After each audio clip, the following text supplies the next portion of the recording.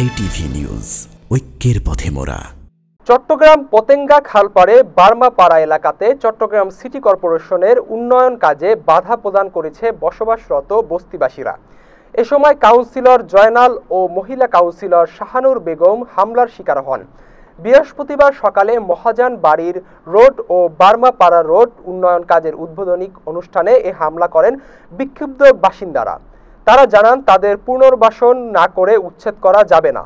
এ ব্যাপারে চল্লিশ নং ওয়ার্ড কাউন্সিলর বলেন, যারা এখানে বসবাস করছে তারা সকলে চট্টগ্রাম সিটি কর্পোরেশনের জায়গাতে অবৈধভাবেই বসবাস করছে।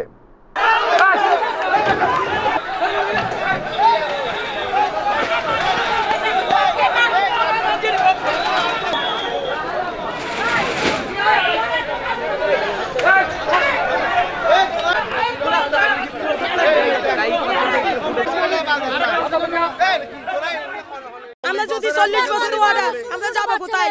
এ বাচ্চা টাচ্চা নিয়ে আমরা যাব কোথায়? আমাদের একটা আমাদের মানবতা অধিকার কাছে আমাদের শেখ কাছে প্রথম মন্দিরে আমার মার কাছে আমরা একটা মানবতা অধিকার আর কিচ্ছু না।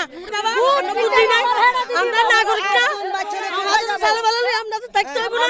আমার স্বামী নেই। আমার আটজন বাচ্চা আমি কোথায় যাব? বাচ্চাগুলো ছোট ছোট। ছোট ছোট বাচ্চা আমরা কোথায় যাব? কোথায় থাকব? আমাদেরকে সরকারে বলেন আমাদেরকে স্থান দেওয়ার জন্য। ব্যক্তিগতভাবে যারা অবৈধ এখানে বসবাস করতেছে তাদেরকে বলে দিয়েছি যে আপনারা স্ব উদ্যোগে ঘর- এই আস্থাপনগুলো সরাই ফেলেন।